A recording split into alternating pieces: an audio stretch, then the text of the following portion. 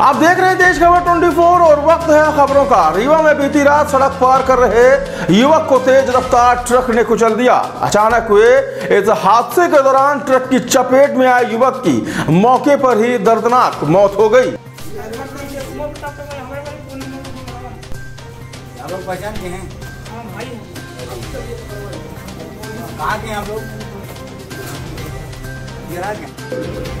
घटना के बाद स्थानीय लोगों में आक्रोश व्याप्त हो गया और चक्का जाम करने का भी प्रयास किया गया, लेकिन मौके पर पहुँची पुलिस ने मामले को शांत कराते हुए शव को पीएम के लिए अस्पताल भेज दिया।